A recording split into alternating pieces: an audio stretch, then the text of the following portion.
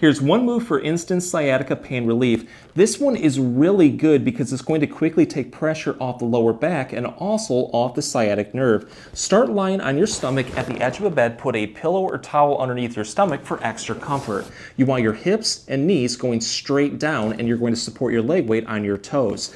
In this position, you should feel a gentle pulling motion known as traction in the lower back and it can give instant back and sciatica pain relief. But we're going to take this one to the next level by now putting in a sciatic nerve floss to quickly take pressure directly off that nerve. So take a piece of cardboard or a paper plate and put it underneath the foot of the side that you're having sciatica. So in this case, it would be my left side.